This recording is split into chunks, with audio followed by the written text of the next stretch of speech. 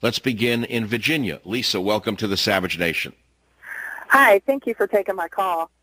I am a fourth grade teacher in Virginia, and I am absolutely appalled by this video. It is brainwashing.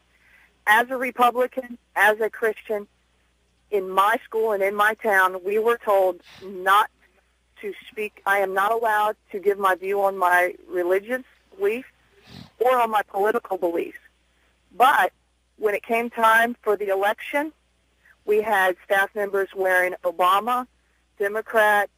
Um, so there's a double standard in our society and in our. But there's only a double standard because we permit the illegitimate left to intimidate us through their threats, their violence, and their big damn mouths.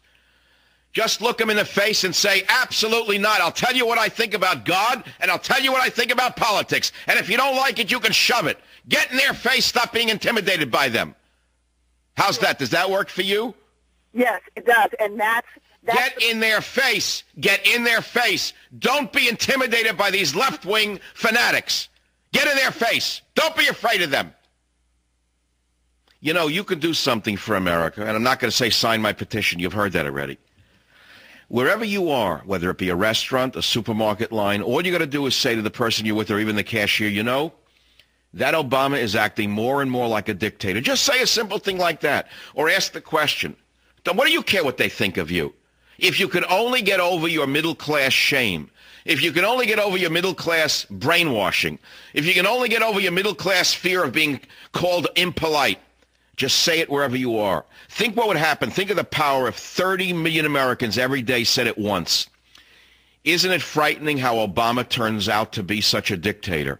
What if you said that 30 million times once, every one of you said it once a day? Think of the power that you have to save this country from this uh, cult of personality, this narcissist and this neo-communist. Neo-communist. Neo-com. Neo-com. Neo-com. Neo-com. I'll say it until you hear me. For eight years, we had to listen to the word neocon every time the word Bush was mentioned. Every time anyone in Bush, the Bush administration talked about the dangers of Islamofascism and the need for a muscular military reaction, the word neocon, neocon, neocon came up. So what goes around comes around.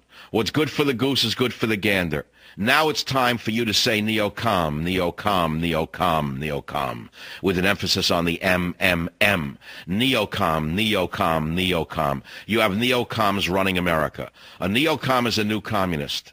It's a new form of communism. It's not the old form of communism. It's not Stalin's communism. It's not your grandfather's communism. It's not even the Chinese form of communism. It's not the North Korean form of communism. It is a neocom, neocom, neocom.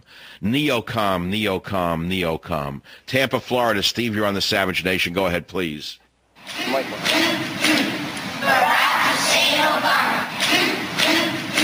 Neocom, neocom, neocom, neocom.